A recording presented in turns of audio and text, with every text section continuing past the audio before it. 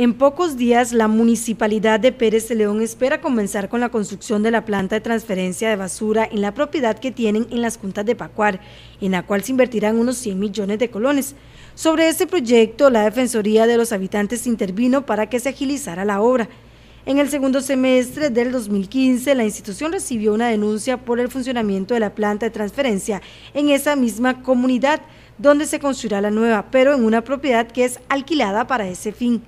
El malestar es porque en el lugar no reúne las condiciones necesarias, por lo que la Defensoría abrió la solicitud de intervención para el abordaje respectivo en la sede regional y posteriormente se dio seguimiento a la Dirección de Calidad de Vida de la Defensoría de los Habitantes. Esta instancia, el pasado 10 de noviembre de 2016, brindó un informe final con recomendaciones tanto al Ministerio de Salud como también a la municipalidad. Nos trajeron una serie de documentos con el fin de este, realizar un abordaje por parte de la institución en su momento, observar cuáles eran las gestiones que estaba realizando la municipalidad y el seguimiento que brindaba el área rectora de salud del Ministerio de Salud y la otra parte que ya tiene que ver con los permisos y con los protocolos ambientales por medio de la CETENA. A partir de esa situación, lo que alegaban los vecinos principalmente era afectación a su derecho a la salud, su derecho a una vida este, en las condiciones adecuadas para su desarrollo, el derecho al ambiente sano y también eh, su derecho al bienestar.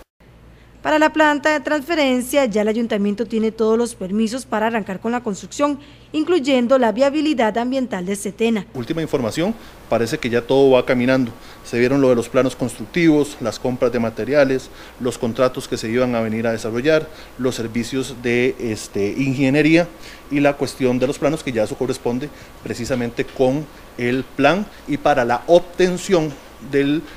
eh, permiso de viabilidad ambiental ya la CETENA lo otorgó.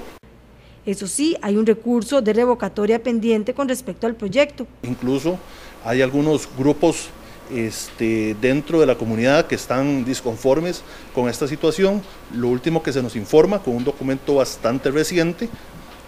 es este, que presentaron un recurso de revocatoria con